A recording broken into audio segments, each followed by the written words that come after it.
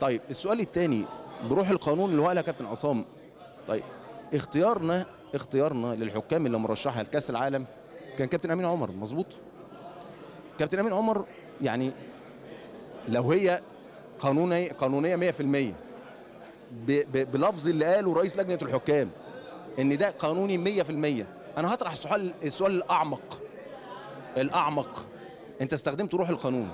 طب هل ينفع ان الراجل اللي انت مختاره رقم واحد يمثلك في كاس العالم سيبك ان هو ما راحش ما يبقاش عارف القانون يعني هل ينفع ان أنا كحكم ما بقاش ما بقاش عارف القانون ما بقاش عارفه يعني كوني ان أنا يستدعيني حكم الفار يجوز له ولا ما يجوزلوش الاربع حالات وال- والخمس حالات اللي بنتكلم عليها لكن أنا كتحكيم حتى مع كابتن صباح يعني أنا أنا نزلت سلمت عليه وخلاص المباراه خلصت مجرد ما بتنتهي 90 دقيقه خلصت كابتن صباح عندهم يعني في في في أحداث سابقة مش مظبوطة. وأنت يا كابتن عصام تحديدا مع كابتن آه، جهاد جريش قعدت حوالي سنتين عشان حدث.